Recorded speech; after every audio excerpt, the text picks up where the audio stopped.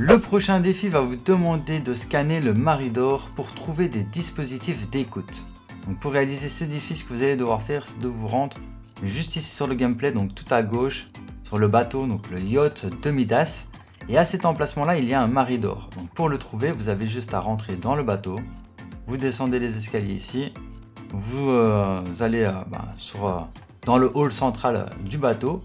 Et là, en dessous de ces deux escaliers, il y a une porte sur la gauche. Vous l'empruntez. Là, ah non, c'est encore plus bas, excusez-moi. non, c'est de l'autre côté en fait, excusez-moi. Donc c'est en face de la tête de Midas.